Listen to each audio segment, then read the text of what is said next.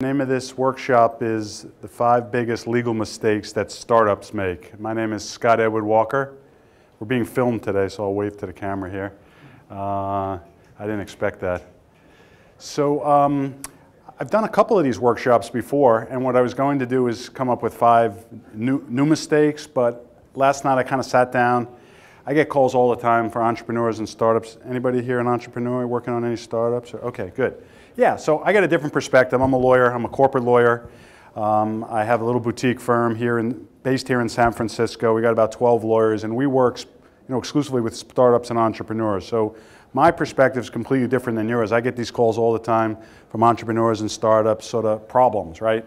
Problems could be because for any number of reasons. Either A, they kind of did the legal stuff on their own, or they haven't even done the legal stuff. B, they used a lawyer, but the lawyer wasn't very good or C, they maybe they use a website like LegalZoom or some other website. So there's any number of you know permutations to this. But what I did last night is I kind of sat down, I kind of figured out like what are like the five most common mistakes, the calls I'm getting on for the last six months. This way I can come in here today and just sort of share them with you so that, you know, hopefully you don't make the same mistakes. Some of the mistakes are fixable and some of them aren't. You know, and the ones that aren't we call deadly mistakes and you just you can't fix it. So we'll talk about that. So mistake number one is forming the wrong entity, okay? The world of startups, I've said this many times, I've written about this. Those of you who've you know, read, read legal blogs should be familiar with this. The world of startups is the world of corporations, okay? Not LLCs. You want to form a corporation in Delaware. This is not rocket science. This is just how the game is played for a number of reasons. Number one, that's where the investors want you to, that's the, what investors want you to be, a corporation in Delaware. And we'll talk about the two things. Number two, uh, it just makes it a lot easier going forward in terms of issuing equity to employees, to co-founders, to future investors. So you don't want to be an LLC. This is what this is the call I get all the time, okay? I'm an LLC. Not only the LLC, I might be an LLC in California or Florida or Nevada why are people LLCs? I don't know. Accountants tell them to do it. It's a lot easier than a corporation because a corporation you have a lot of different documents. In an LLC, it's basically two documents. There's a certificate or some articles of formation, which you can just go on LegalZoom or some site and they do it for you. And then there's an operating agreement, which many entrepreneurs don't even execute. An operating agreement can be about 80 or 90 pages. And what it is, it's a compilation of all the corporate documents you need folded into one document with this extraordinary complicated tax layer on top of it. So LLCs are really for hedge fund guys and private equity guys and real estate guys who want to take advantage of the significant flexibility with respect to tax distributions and tax allocations. And it's not the world of startups. You're not, basically, startups are going to be losing money for any number of years, and you're putting any, all the revenue back into the company. You're raising money, putting it back into the company. So these aren't really issues that are relevant to startups. And again, with a corporation, so what happens with an LLC, you try to issue, for example, stock options. Well, there's no such thing really in LLCs. It's called, it's called a profits interest, and no, no one knows what the hell a profits interest is. So it just becomes very complicated. The most important reason why you don't want to use LLCs, not to beat this to death, but investors, VCs, hey Jason, hey, this is Big Jason. Come on up here for the camera. uh, he's the guy who's running the show here. Um, LLCs are a pass-through entity. Does anybody know what a pass-through entity is? Yes. You had, you had an answer? Okay. You know what a pass-through entity is? Yeah, it passes on the, uh, the profits directly to the owners so they get taxed on. Right, exactly. The profits and the losses are allocated directly to the owners. So it, it, there may be like one in a hundred or one in a thousand uh, sort of uh, startups that have a situation where they're generating so much cash flow, so much profit, so that after they've even paid themselves salaries, all the co-founders, uh, after they've taken all that extra cash and put it back into the business, there's so much cash left that they're going to dividend it out to themselves, and in which case there would be double taxation in a corporation. A corporation would already have paid a tax. This is a very unusual situation, but I'm just trying to explain to you this so-called double taxation issue that sometimes I hear. People say, oh, I don't want to be in a corporation or C corporation because uh, you know, the double taxation, they don't really quite understand you know, what they're saying. But, but in any event, um, VCs and invest, they don't invest in pass-through entities. So even if you form an LLC, if you're doing well and you're reaching out to investors and you're meeting with the VC, you're going to have to you're going to have to convert to a corporation anyway, and that can be expensive. So anyway, that's that's the reason you want to be a corporation. Now, why Delaware? Everyone says, "Well, I'm in California or I'm in Florida. I'm, why do I am forming a corporation in Delaware?" And the answer is really for historical reasons. Delaware, 100 plus years ago, decided they're going to become the state for for, corporations just to raise money, and they have a special court system, they have a special set of laws, they have the most protections for management and for directors. And so, again, this is where the investors are going to want you to be. If you don't play the game and you're trying to go out and raise money, you have to have a certain level of credibility and sophistication.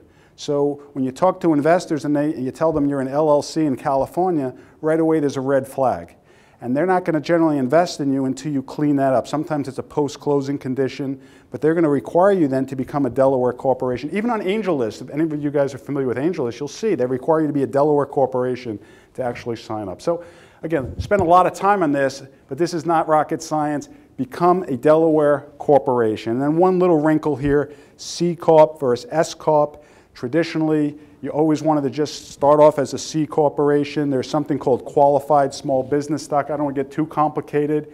As of, December, as of January 1st of this year, it's sort of disappeared. Hopefully, Congress comes back and, and, and will um, you know, grant this same tax break that's been given. It, it means essentially if you form a C corporation and you issue shares to the founders and the founders hold those shares for five years or more, you can't be an S corp, you can't be an LLC and if you hold your shares for five years or more and sell your company, have a big result, you pay zero capital gains up to $10 million.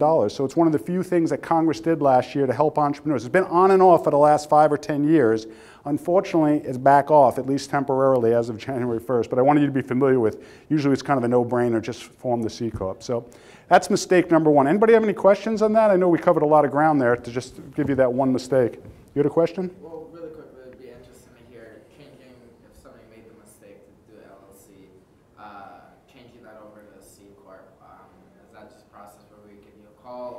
Yeah, yeah, it's a good question. We, so, so this is the call I get all the time, and there's really three, very quickly three ways of handling it. If you just did it, like literally like a month ago, hey, I just did this because my accountant told me. A lot of accountants will say be an LLC, right? Because it creates a, creates creates a lot of work for them. You know, more work at least because you got to do K1s and it gets complicated.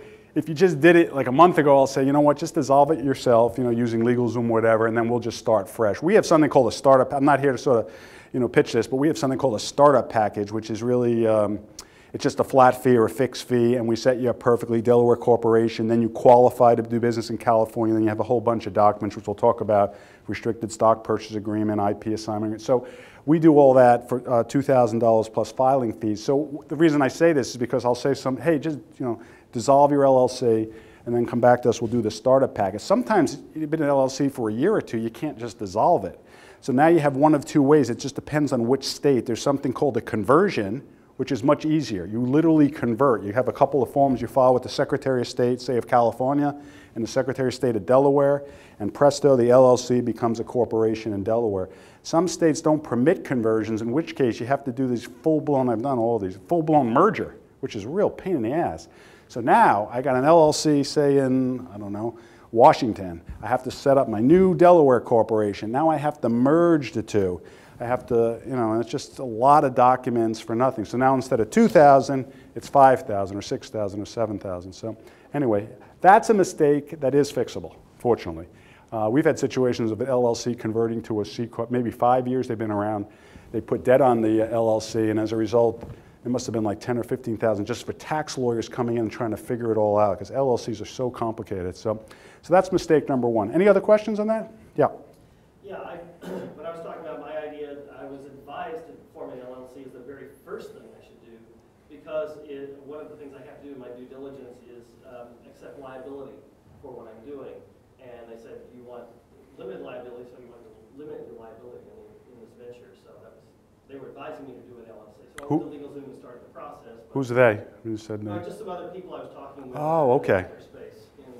Yeah, no, that, the advice you got to, to try to protect yourself from personal liability is very good advice. It could be done in one of two ways, either a corporation or an LLC. A corporation actually probably provides more of a shield than an LLC. There's some case law out there, particularly with a single member LLC. So if I went ahead and formed an LLC by myself, I can be what's called a disregarded entity for tax purposes. So I just take all the profits and losses, put it on a Schedule C. Some courts are saying, wait a second, you're not really a separate entity, and they'll pierce that veil. So you've got to be careful as a single member LLC. But that, from a legal protection perspective, I mean, if anything, a corporation is be more of a protection.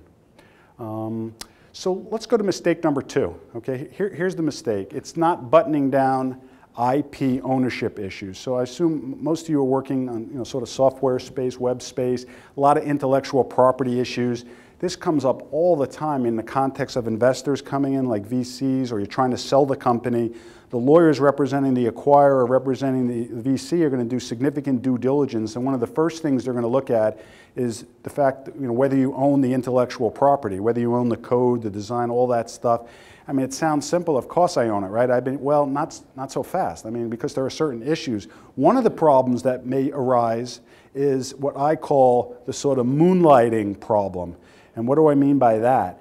A lot of, a lot of guys, they might be currently employed and they start working on their startup and thinking, oh, you know, I'll just kind of do this on the side. But that's the question. Are you really doing it on the side and moonlighting? Because what the law says, and California is the most favorable state for employees, but California, like all states, most states will say, if you're actually using the facilities of your employer, so if you use, you're at work using their computer, even if you're using their phone, if you're using their facilities, then they may have rights to your intellectual property, meaning they actually own it.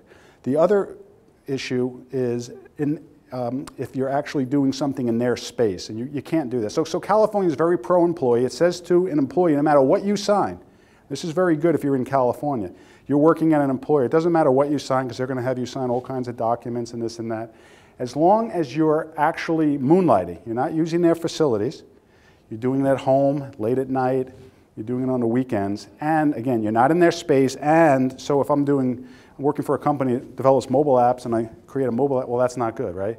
So, and you can't utilize your work product. So if you're working there, you, oh, wow, this is a great idea, I see this, and then you kind of start working on that. So, so that's the issue. It's the moonlighting issue. You have to be very careful. It's come up all the time. Now, you can get a waiver from your employer.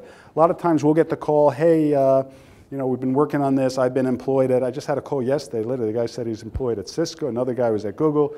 Uh, turned out there may be some issues. If you're in a good, you know, good relationship with your supervisor, the boss, I said, look, why don't you go tell them what you're up to? They can execute a waiver, basically say, we're going to waive any rights that we may have to intellectual property.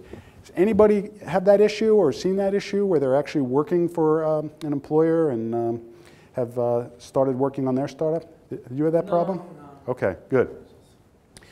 Second issue with, employ, with intellectual property is what I call the Zuckerberg issue, which is that the, some third-party developer like Mark Zuckerberg or a co-founders don't actually assign their rights to the company. And so the way this is done is something called, you may have heard of this, a confidential information and invention assignment agreement. That's part of our startup package. That's pretty basic. All the sophisticated law firms will require, require the co-founders to sign that document. So you're essentially any intellectual property you create, any code, any designs, anything. Sometimes you'll go out and get the domain name in your own name. So you'll get all that intellectual property into the company.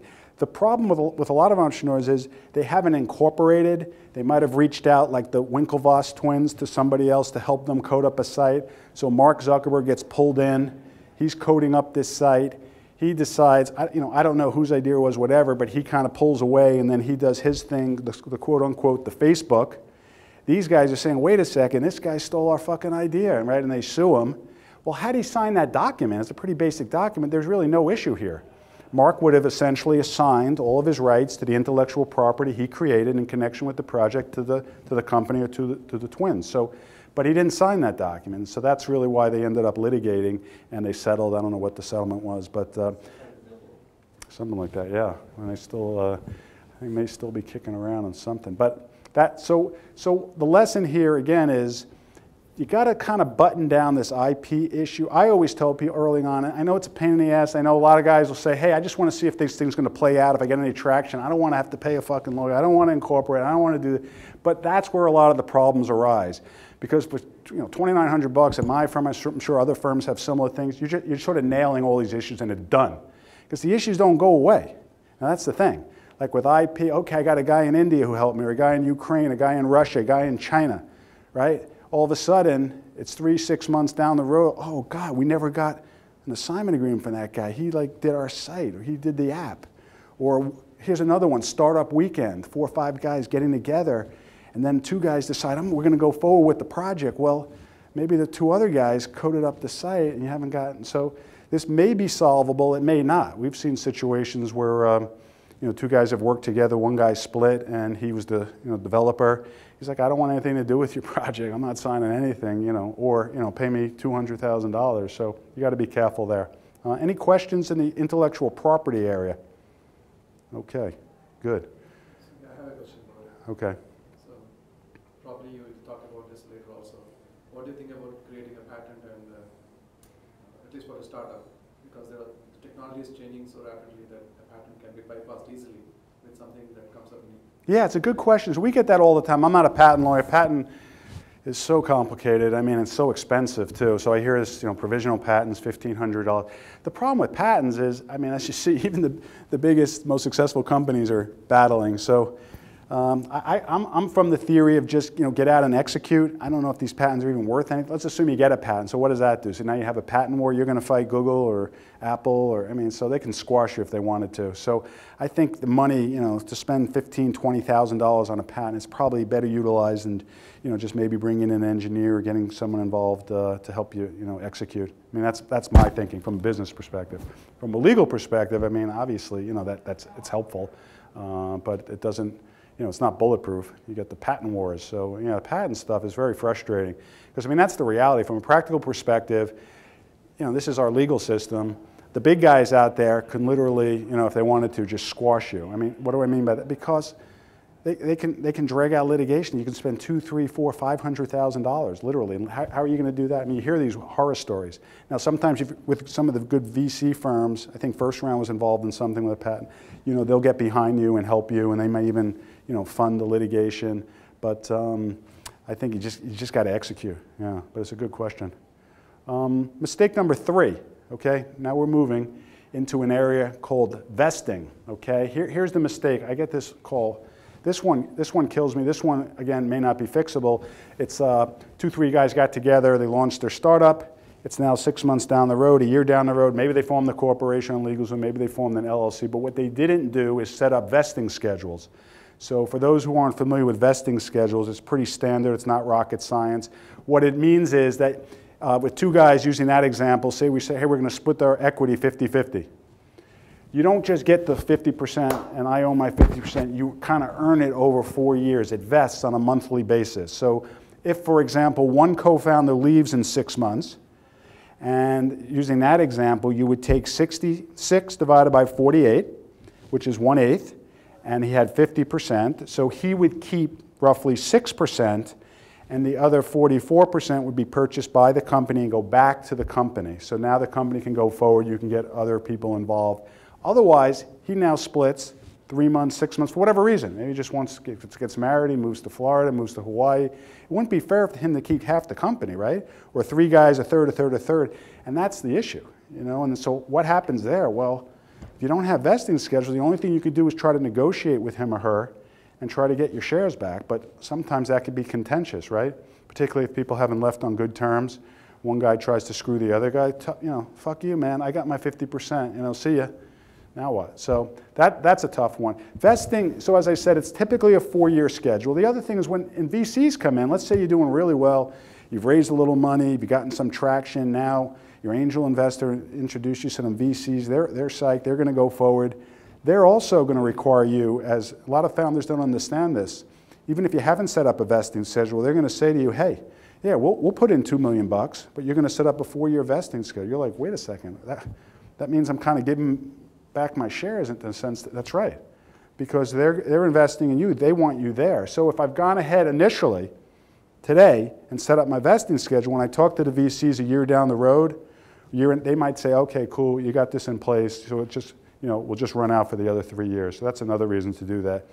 Again, typically four years on a monthly basis. Um, this is all part of what's called a restricted stock purchase agreement. So when you set up your corporation, you're actually going to purchase your shares from the corporation. Usually it's a, it's a nominal price.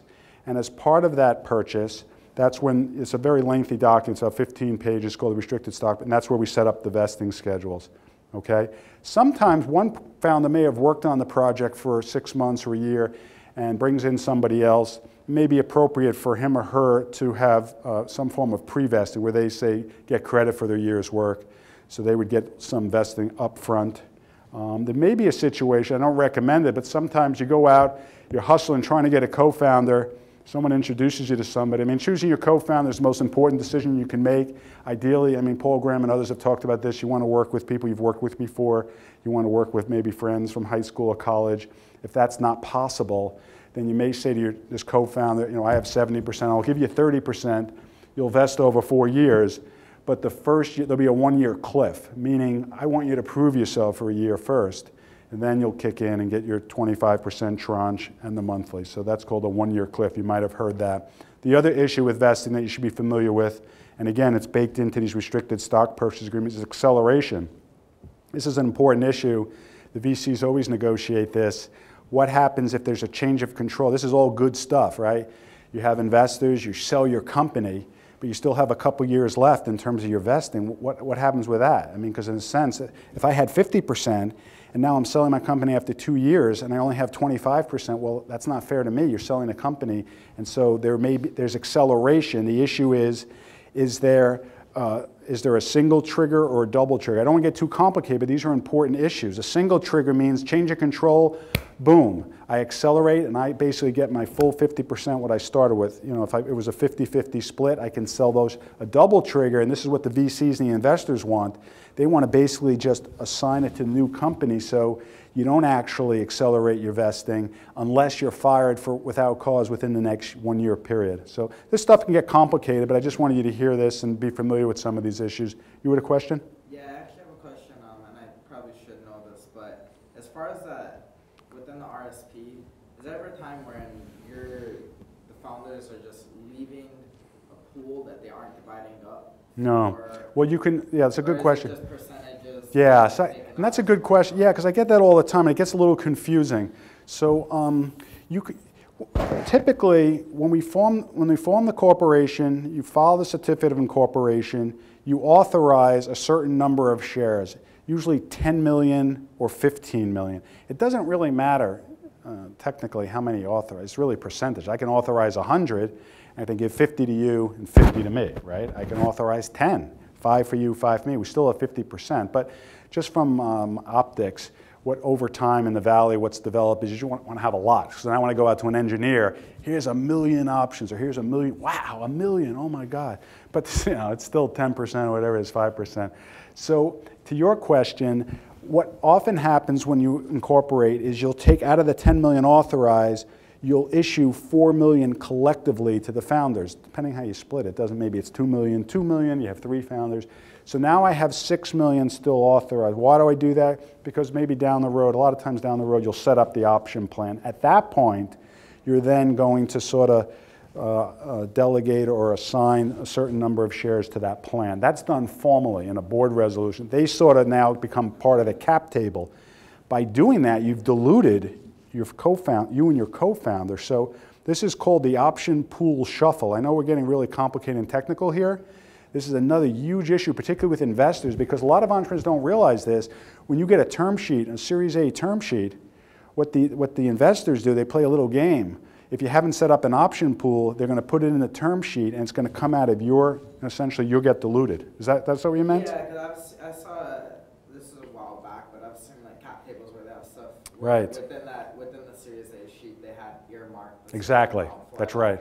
Um, and was just, it was something that just came a while back. and I hmm Yeah, no, it's a good question. It gets confusing. I mean, fortunately, in today's environment, everything has changed in the sense that the, the pendulum has swung and the leverage, which it used to be like these entrepreneurs, the, uh, the investors, the Series A's investors, the VCs, it was like going to a bank.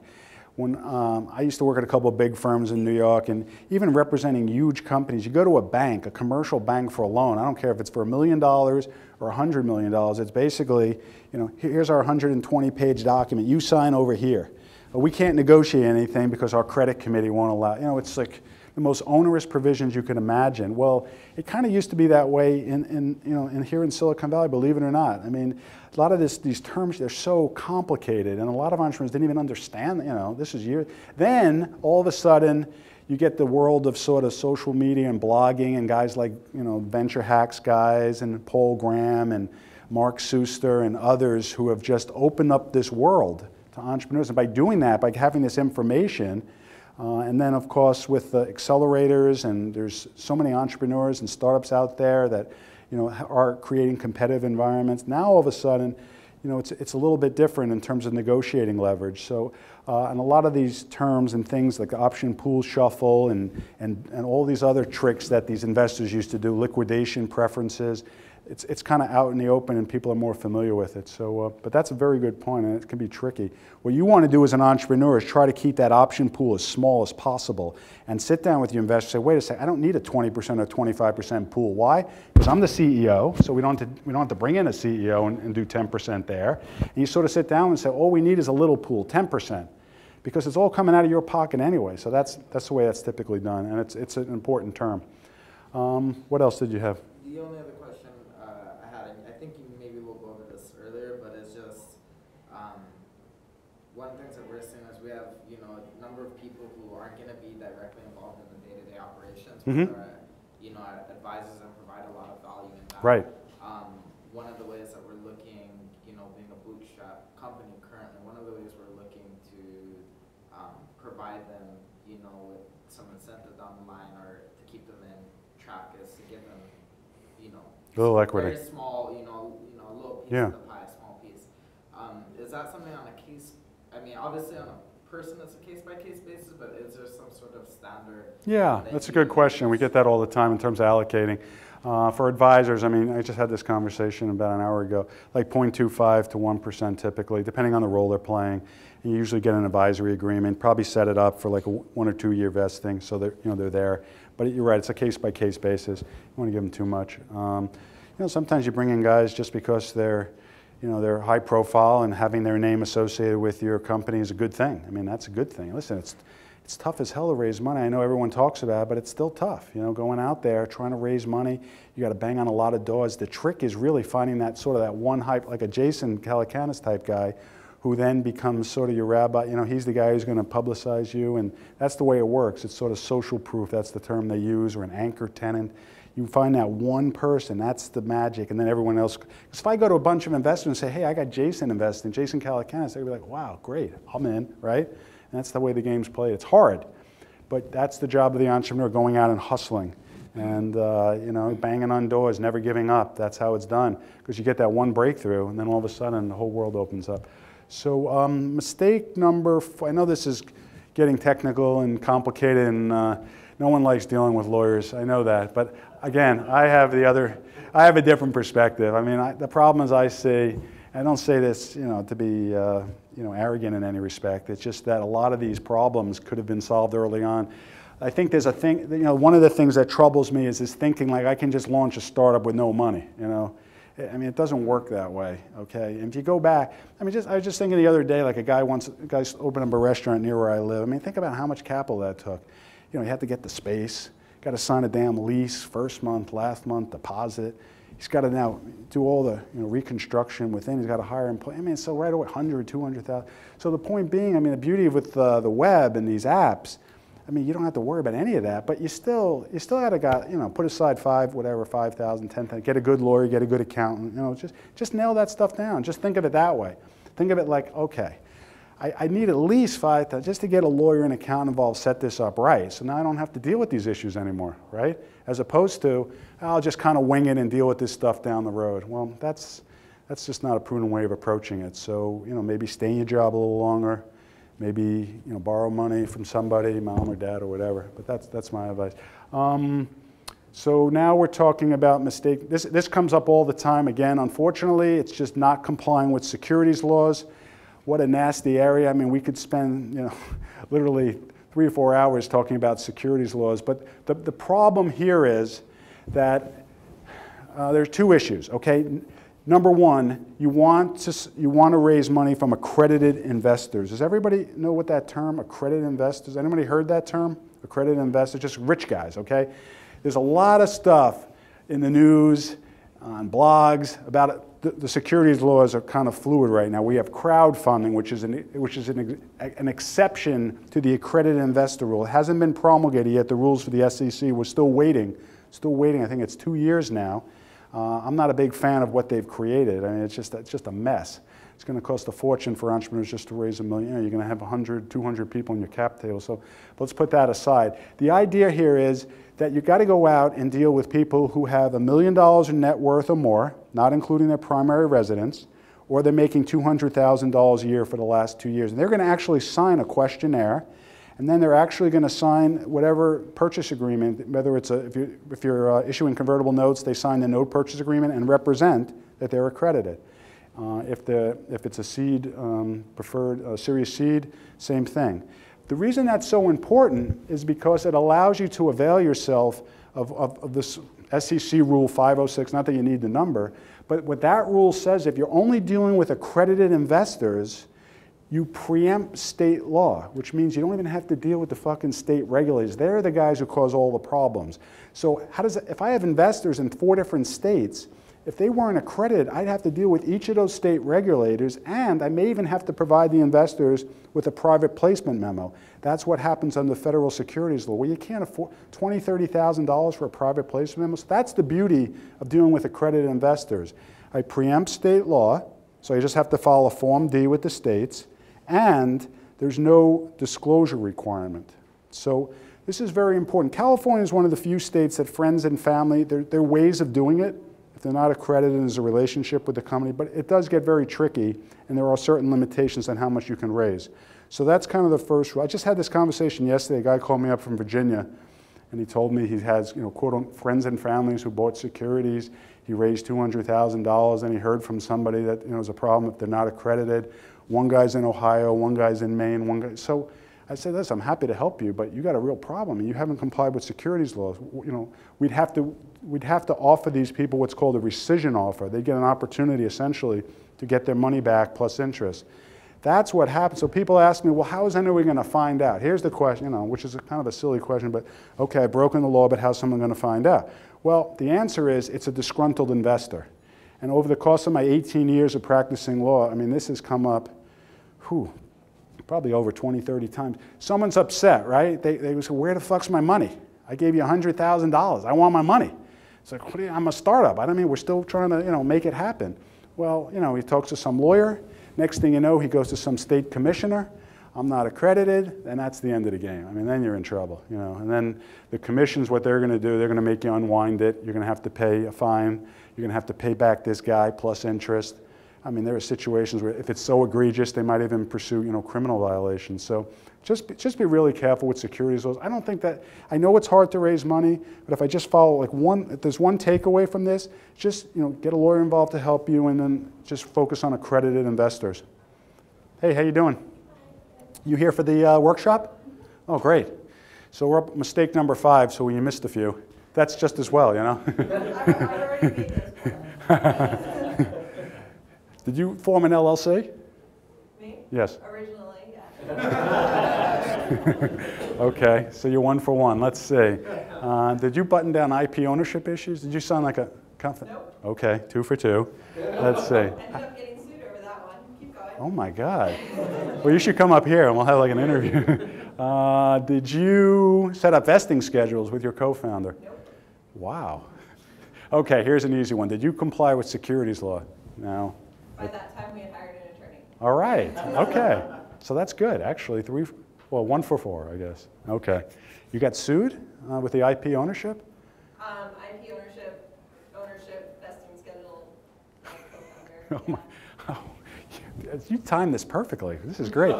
These guys are looking at me like, oh, another fucking lawyer. I can't deal with this.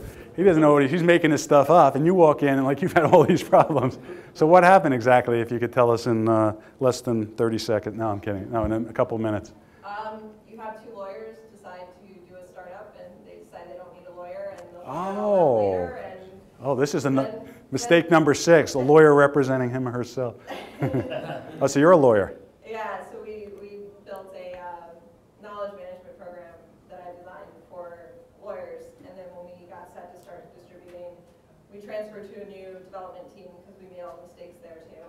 And uh, brought in outside investors and then we had to obviously button down our paperwork. And it suddenly became an issue that my co-founder didn't really have any interest in doing real work. So- Oh, so you had to get rid of him or her? Well, I, I, I wasn't prepared to give her fifty percent of my IP and everything else. Yeah, we just talked about that, yeah. That caused a bit of a conflict because she thought she owned fifty percent. This is unbelievable. You still accept it. I think, yeah, I set it up. Come on up. This is my, no, I didn't. I, you were like, this, you got to come to all my workshops, I'm telling you. I was just using that example 50 50, and then someone leaves, and Oh, oh, yeah. wow. I read all those articles about don't do 50-50. Right. That's, a, After the fact. that's another one. So, uh, but if you had to set up the vesting, well, the problem with 50 50, and just to go back to the vesting schedule, it, here's where it becomes tricky because how could she, in effect, fire her co founder? So that's why people always say it's better to be 60 40 or 51 49. Whoever has the majority ownership, this is getting a little off topic, but you have to understand this. Uh, and this goes back to my original point that Paul Graham says you really have to trust your co-founder and know him or her really well because all this stuff could come up. You got to be together, you know, in the trenches, knowing this is going to be a long endeavor. Because if it's 50-50, who, you know, usually you have two people on the board, so you have this potential of the deadlock. If it's 51-49 or 60-40, I'm the majority shareholder. I elect myself to the board. I control the board. I appoint myself CEO. If my co-founder isn't working out, I just get rid of them. You know, under this uh, restricted stock purchase agreement, they're just at will essentially. So understand that. Yes. Do you have any recommendations? So if you had two co-founders coming together and one was going to be CEO and the other was going to be something else, um, and you start off with the basis of 50-50, how does a person who's not CEO like protect themselves? Yeah, I guess, but, but they would also be on the board, right? That's how they protect themselves. You'd have the two people on the board. So the board appoints the CEO and, and presumably the, you know, chief financial or president. So, but by having the person on the board, um, you could build in some language too. But that's what I'm saying. You don't really want to spend this kind of time and money. So I get this question all the time, like three guys starting to get one guy saying, "Hey, I don't. If I'm I don't want, if I'm terminated without cause, I want severance and I want acceleration of vesting. That's not really how startups work, okay? I mean, that's what I was saying earlier. It's from a business perspective, choosing that co-founder is so critical because you just, you just want to get it set up properly and move on and try to execute. It's tough enough to try to make your business work than to have to deal with all this legal stuff and trying to create these stockholders agreement and termination without cause and things like that. So uh, it's a good question. 50-50, the way it typically works is both parties then would elect themselves as, off, as uh, directors, and then you sort of appoint, appoint officers. It really, really doesn't matter. I mean, but you just don't want a situation where the CEO can kind of fire the uh, CFO or the president. So, uh, yeah. I actually have two questions in relation to number five. The first was uh, in regard to the accredited investor. Um, Number four, investor. yeah. I've heard you talk about, excuse me, number four. I've heard you talk about that before. Um, but typically, when people go out and raise from friends and family, first off, um, Mhm. let's say you need, you know, kind of a super small angel, even pre-angel, you know, this Yeah. be friends and family, but let's say for thirty thousand dollars. So Right. Is that a problem? Is that something that you already need to start looking to raise, you know, something a little bit more at an angel realm? Yeah, it's a potential problem. As I was saying, okay, it actually, this dovetails nicely into mistake number five, which is, uh, and it's, it's sort of a business issue, not diligent, diligencing your investors or not sort of figuring out who your investor is. And it relates to a situation where just like this, you're going out and sort of friends and family. In the, in the ideal world, you know, waving the magic wand, who do I want investing in my startup? I'm, we have two co-founders or three co-founders. I now want to go out and get a sophisticated angel, like a Jason Calacanis or a Dave McClure or a Mark Suster or, as I said, not, not so easy. But the reason, I, one of the reasons I want those guys, not only to be the social proof we talked about, but the other reason is they know how the game's played. So they're investing in 10, 20, 30, 40 startups. If one of them sours, 10 of them sours, 20, this is no issue, right? But when it's Uncle Charlie or your friend from college who doesn't do this stuff, he doesn't even understand how this stuff works. In six months, he's calling you up and saying, Where the fuck's my money, right? And you're like, What do you mean? this is a startup, dude, you know? Uh, maybe, you know, if we have an exit in 10 years, you'll get some money. And he's like, well, what the hell? And that's when we get back to sometimes situations like that. They might go to the SEC, they might go to, you know, state regulators. So again, in California, if I had just, you know, a close friend, someone I trust, a parent, uh, an uncle, there's no issue here. I can probably make it work in California. California is one of the few states that has this sort of relationship exception where if it's a true you know, relationship, friend, family, business relationship, I can then issue stock to them even though they're not accredited. VCs don't like that. Nobody likes to get involved in a company where you have non-accredited investors. It's just not appropriate, okay? Most startups fail. Everybody knows that. So it's really a situation where if somebody's not an accredited investor, they don't have a million dollars or more net worth or making 200,000, should they really be investing in startups? And the answer is no. And that's what the SEC said many years ago. And there's been a lot of push to raise this accredited investor net worth test to like 3.4 million, and the income test, it'll probably happen. So I mean, what the government is essentially saying is that, you know, this is all because of the Great Depression. And the Great Depression, everybody's running around raising money from everybody, and people were wiped out. And so the government stepped in and said, whoa, you know, no more. You know, if you're dealing with un un unaccredited investors, you got to provide them with a full disclosure document so they understand what they're getting into. So that's kind of the rationale. Yes?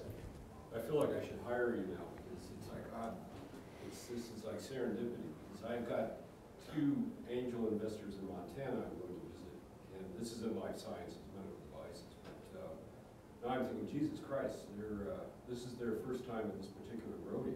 Oh, yeah. You know, they're, yeah, they've got millions of dollars, but Right, they've never done this type of thing, it's stocks and bonds, and, and, you know, right. uh, real estate and so forth, but I convinced them to, to, to take a change into us. Well, you're a good salesman, then that's a So I good step. probably hire you, a- or what do I do? Do I direct them to an angel fund so they become accredited? Well, um, I mean, I'm not trying to give free advice here, but. oh no. uh, Well, in terms of you know tiers of invest, you know, so you think about it in terms of, as I said earlier, waving a magic wand. The ideal investor is that high-profile, sophisticated angel. You know, we all dream of getting involved in our project. Uh, underneath is sort of you know a sophisticated someone who does this a lot, 10, 20 investment. Underneath that, he's still accredited. Maybe this is sort of your guy. He still has the million dollars of net worth, not including the primary residence, or making 200,000 a year. So he's still accredited, but they just don't play this game. They're going to they're going to have to execute a questionnaire, sort of saying to the company, you know, hey, you know, we are accredited. Here's why. And then they, as I said, they're going to, in the actual documents, they're going to represent and warrant to the company that they're accredited. So, you know, I think it's more of a practical issue. What you're saying is, these guys' expectations may not be sort of what the typical expectations of a sophisticated angel are because they're only doing one investment. Angels uh, know that they have to have at least 20, 30 investments to, to make this work. It's a diversity because I think you know the numbers are such that I think 50, 60% don't work out. Maybe 20% are sort of you know Walking Dead they call them, and then one you know 10%, um, 20% you know actually hit. The, the models you know if you think about it, the, the model that VCs and angel investors use is they're looking for that home run to basically cover everything. So it's one home run out of 30 investments that covers every, you know, or two home runs or three. That's the way they're playing this game. That's why they, you know, they have so many. No, nobody knows early on who's going to who's going to work out, who's not. I mean, if, if you look at the history of these companies, I mean, I've studied all this from Google to Facebook, I mean, to even Twitter. I mean, it's a lot of it's just serendipity. I mean, had I mean, at Twitter, you know, had these guys not worked out at Odeo, they wouldn't have reached around and said, what other projects can we work on? And here's this guy, Jack Dorsey, said, hey, I had this idea. Jack's ready to quit. I think he's ready to go on a boat and travel around the world. And he's like, I've been playing around with this. So they go, all right, here's, you know, take two weeks and work on this project. Before you know it, you know, Twitter's born. I mean, the reason they stopped working what they were working on podcasts is because Apple came into the space. That never would have happened. Or Facebook. I mean, think about the odds of that happening. You know, had Mark, as I said earlier, signed that confidential information invention, he wouldn't have had any rights to the project. So the twins would have done it and probably screwed it up. So you never would have been a Facebook. And Google, these guys were running around. I mean, Chris Dixon just talked about this at the startup school. Go, you know, from six weeks ago. You could go look on YouTube and watch smart guy Chris Dixon. The guys at Google were trying to sell the company for a million dollars, okay? They were trying to get out of the space. They were, they were done. No one wanted it for a million dollars. A million dollars. I'm not kidding. You know, this is all public record. So my point I'm making is nobody knows anything. Okay? Nobody knows anything. Don't you know? So don't think they do. Yes, they have an edge. It's like the hedge fund guys on Wall Street. They have an edge because they this is what they do. Some of the guys there are trading on inside information, but that's different. But that's sort of what the VC guys are, you know, they're doing. It's inside information in the sense that they're seeing things before, you know, you are. They're sort of in the mix. They're getting the best deals, the best entrepreneurs. But at the end of the day, no one really knows anything. That's, you know, that's sort of my premise. It's not a, you know, I don't, you know, I don't mean to be, um, you know, negative here, but I think that's a positive thing in the sense that everybody has a shot at this. You know, you just have to, you know, hang in there and get a little lucky. Yes.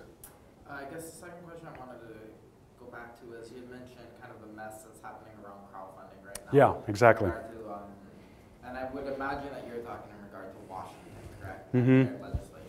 Yeah, well, we're still waiting for the SEC to promulgate the rules, the final rules, how to utilize crowdfunding. But I'm saying it's a mess because they've made it so complicated. You have to use a funding portal or a broker dealer. You've got to follow this stuff. At the end of the day, it's not going to make a lot of sense. You have to file, if you raise more than $500,000, for example, uh, you'd have to provide your investors with audited financial statements. I mean, what the hell is that? How am I going to get audited? Finan- I'm a startup, for God's sake. So it may be ideal for like a bar or a restaurant, you know, it's been around for a little bit of time, but I don't know if it's going to work for startups. Plus, I, I get concerned when I got 100, 200, you know, stockholders, you know, some lawyers going to be plaintiffs' lawyers are going to sue you if you do well and stuff like that. It seems like though, but to, and again, I'm, have no knowledge of that, but to keep cap tables clean, that the model would eventually look, um, so for instance, somebody does something on Kickstarter, Mhm. you have all these people go in and it's, um, instead of having it be a syndicate model where you're having, you know, maybe five or six big angels come in, you're gonna have it look more like what a traditional VC would, where they're pulling the money across and it's only under one. Yeah, ideally, but I don't think they're allowing that. That's, that's the issue. That's a good point. So- send you over there then, Washington. get these guys. No, the point he's raising is what's, do, what's going on in AngelList now, as many of you know, there's so-called syndicates. Um, a syndicate is basically, you know, a guy like Jason puts together a group of people to invest in your startup, and then on the cap table, it's just one entity. They set up an, like an LLC, uh, and so that's great, right? Let them figure out how they want to vote, how to deal with it. I'm only dealing with this one entity. With the crowdfunding, the problem is you may end up with, you know, 200 individuals each kicking in $100 or $1,000. Who, who the hell wants that? Then you have all kinds of issues, having stockholders meeting, how to communicate. The, there was a push to see if we can fold them all into a similar type of LLC, but I've, I've read that, uh, and we'll see what happens, how it comes out. But yeah. somebody can crack that. Right, because that's the key, like you just said. So um, I think we covered five. five. The last one, which I, as I said, was just sort of it, it's a very broad concept, and this is. So I get the, you know, getting the calls. It, it you know, it breaks your heart sometimes when uh, you know, entrepreneur calls you up and says, "Hey, this investor's trying to screw me." Turns out, you know, the entrepreneur didn't get a lawyer involved, and you know, the investor had his lawyer draft everything. The investor controls the board, and the investor's, you know, firing the entrepreneur as a CEO, and all because, you know, the entrepreneur got very excited, right? Someone waved some cash. They said, you know, fine, I'll just sign. I just need the money. God, I need the money, right? And then, you know, things sour because not only did he not get a lawyer, but he didn't really ask around and say, who is this guy? Now, for the high profile for the high profile investors, obviously that's usually not an issue with the you know the typical you know A investor. You don't worry about that, but you know sometimes you, you don't have that luxury, right? It's just like you're going out to Montana. You don't know these guys haven't even done this stuff. Let's assume they've done a few other deals. You want to call up those you know CEOs and founders. Hey, how are these guys to work with? Maybe they're assholes, excuse my French, you know, or maybe they're busting your ass, or maybe they're trying to cheat you. I don't know. But that's what I'm saying. You got to do your due diligence with, with everybody you're involved in. I mean, that's something you can do. Go on the web, you know, figure out have these guys been doing investments. I'm trying to bring in a new co-founder. I mean, it's the same thing like just you know getting references. That's what you want to do. Talk to people. When you hire somebody, right, you're going to do the same thing. Thing is with investors, I mean, it's, people say, oh, you're going to be married to your investor. You're not, you're not married because you can't divorce them. At least with a co-founder, you can get divorced if you set up the proper vesting schedules, you know, the kick out. You're not divorcing your investor, he's there. I mean, you know, and these guys can play havoc. So that really bothers me. And that's, um, you know, that's really just, you know, up to you to say, hey, I'm excited for the money. you know, I'm thinking with my head now, and I'm going to, you know, get a lawyer involved, and I'm going to, you know, talk to people and make sure that this investor is going to be, you know, a good partner. So, um, so good. Yeah. I I don't know if it's appropriate time, but can you give us a a snapshot of your firm and what you specialize in, the industries and such, and then maybe give us just a little bit more uh, color on the, I think you mentioned startup program or, or- or package that you have? Yeah, well, I was, in fact, I was going to talk for a minute before uh, Jason's uh, interview, but um, know, I'd worked at a couple big firms in New York for about eight years, and I kind of saw this problem. Uh, and, the, and the problem is that for, for many entrepreneurs and startups, particularly in New York, I mean, out here is a little better, but you know, you, the- the big firms often just don't work. I mean, so you go to the big firm, you know, you meet, meet with the senior guy and the partner, you sign your engagement letter, and then uh, all of a sudden all your work's pushed down you know, to some young associate with little no experience. I know this because I was there and I saw this. In New York, it's, boy, I remember as a first year associate, they're throwing me the $20 million M&A deals, and I don't know what I'm doing. The partner doesn't want it. He's, he's doing these billion dollar deals, and I'm just sort of winging it. So I'm saying, this is, this is screwed up. But for, for startups, I mean, even in New York, most of the big firms won't even work with startups. But, but out here, um, you know, you end up sort of paying for the, um, for this, for the sort of on-the-job training of the associates, which is, which is crazy. So I, I just tried to come up with a different business model. I worked in New York for eight years, came out here and launched my own firm uh, with a different model geared specifically for entrepreneurs and startups. So, for example, we only have lawyers. Uh, we only have lawyers with 10 to 25 years experience. So that's different than the big firm. Big firms are big business, big factories. They make a lot of money by representing public companies and hedge funds and private equity firms. We work with entrepreneurs and startups. We have a different model. We strip out the overhead. So basically, you know, we can give the same, not that we compete on price, but it turns out to be the same rates, you know, 10, a guy with 10 or 15 years experience as a first year associate. We don't have all that overhead, the fancy offices and the, you know, large support staff and all the, you know, crazy compensation. So um, that's kind of my firm in a nutshell. We got 12 lawyers. What's nice at a boutique firm is, you know, law becomes somewhat specialized like medicine. And so, you know, you call me up, hey, I got this project, uh, I have an IP issue or a trademark registration. We got an IP lawyer to help you. I got a financing, we got a few people who really specialize in financing. The startup package, which I mentioned earlier, a lot of people have utilized. What's nice is just one flat fee. So you get unlimited phone calls and emails. You know, that's the other problem, you know, I hear a lot, you know, entrepreneurs call me up. You know, I like my lawyer, but every time I pick up the phone, they're charging me 500 bucks or whatever it is, you know. So, um, you know, we try to encourage you to, you know, speak to us. We, we work across all industries. I don't, I think with most of the documents, it, it's sort of, you know, industry neutral. Happens that I spend most of my time here, so most of our clients are tech, you know, tech, software, apps. I mean, it's, it's, this is an amazing environment.